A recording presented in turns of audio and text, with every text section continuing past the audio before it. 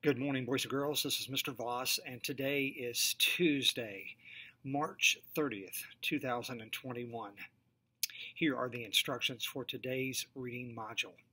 This module can be found under my reading course page in Canvas. First, uh, we will be starting a new unit for Reader's Workshop Lucy Calkins. It will be Unit 4, and we're going to be talking about debates. So today, the first lesson is over claims. Now, we have talked about this earlier a little bit in lesson or unit three, but today um, you will be learning about CER. C stands for claim, E stands for evidence, and R stands for reasoning. So first, you will review the anchor chart that I have prepared for the first lesson of Unit 4 review that. Then you will watch a short video about today's lesson. I believe it's about two and a half minutes long. Then the third thing you will do is you're going to come up with your own CER. Do not use the claim that was used on the video. I want you to come up with your own claim.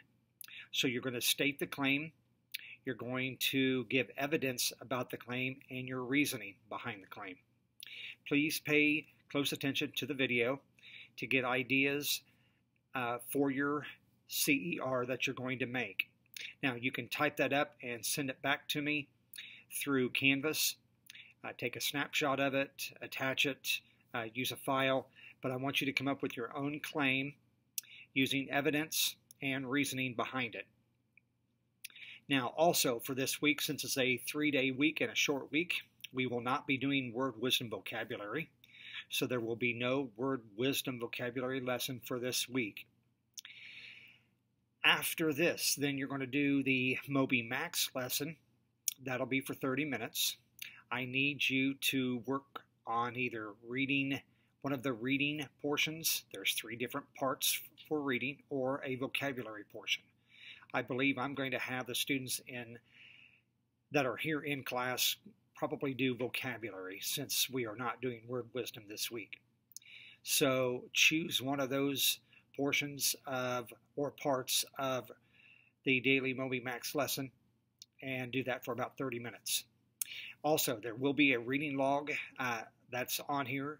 Um, you will need to be working on a new reading log for the new nine weeks. This will be due next Monday. So start today with uh, reading minutes for each day. Make sure that you have 150 minutes read by next Monday. You have a parent signature and you are completing an answer for one of the fictional or non fictional questions.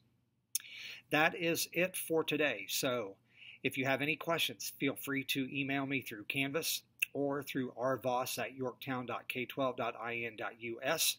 Please take your time and have fun.